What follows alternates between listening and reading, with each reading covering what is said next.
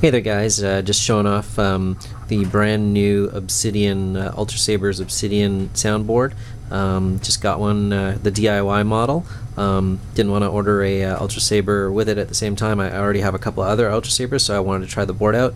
So I made my own um, chassis for it here, just out of a couple of um, cut pieces of uh, circular plastic um, some 440 uh, inch um, threaded rod running through with some some nuts on the either side.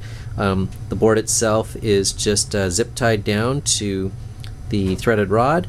Um, there's a piece of plastic here with my my Panda logo um, glued onto the rods, and then the um, battery holders just uh, double-sided tape down and everything's all kind of just snugged up. Um, kind of had to figure out how the wiring was going to work. Um, uh, had to get some instructions or just some confirmation on the Ultrasabers forum um, to uh, you know confirm which way the wiring is supposed to go. But basically, got it all working now. So just going to fire it up.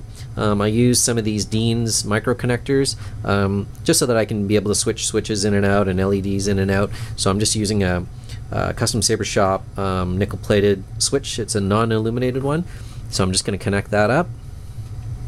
Uh, the Deans connectors, the micro connectors are really small, so it makes connection really, really easy.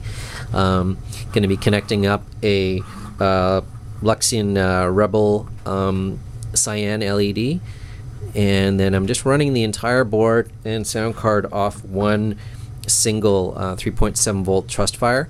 Um, and there's also a custom Saber Shop uh, speaker at the end here, so I'm just going to plug it in.